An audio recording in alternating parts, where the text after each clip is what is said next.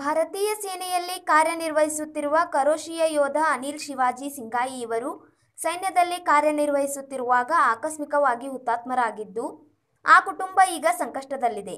ಅದಕ್ಕಾಗಿ ಸರ್ಕಾರದಿಂದ ಸಿಗುವಂತಹ ಸೇವೆಗಳನ್ನು ಆ ಕುಟುಂಬಕ್ಕೆ ಒದಗಿಸಬೇಕೆಂದು ತಹಸೀಲ್ದಾರರಿಗೆ ಸಿಂಗಾಯಿ ಕುಟುಂಬದ ಪರವಾಗಿ ಯುವಕರು ಮನವಿ ಸಲ್ಲಿಸಿದರು.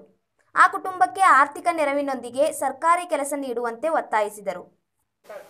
ದಿನಾಂಕ ಇಪ್ಪತ್ತೆಂಟು ಆಗಸ್ಟ್ ಎರಡು ಸಾವಿರದ ಇಪ್ಪತ್ತರಂದು ಅನಿಲ್ ಶಿವಾಜಿ ಶಿಂಗಾಯಿ ಅವರು ಕರ್ತವ್ಯ ನಿರತ ಸೇವೆಯಲ್ಲಿ ಆಕಸ್ಮಿಕ ಹುತಾತ್ಮರಾಗಿದ್ದು ಅವರ ಕುಟುಂಬಕ್ಕೆ ತುಂಬಲಾರದ ನಷ್ಟವಾಗಿದೆ. ಆದ ಕಾರಣ ತಹಸೀಲ್ದಾರರ ಮುಖಾಂತರ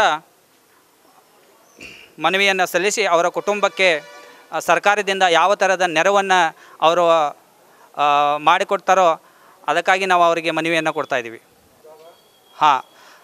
ಫೈನಾನ್ಷಿಯಲ್ ಮತ್ತು ಅವರ ಅವರ ಒಂದು ಮಗಳ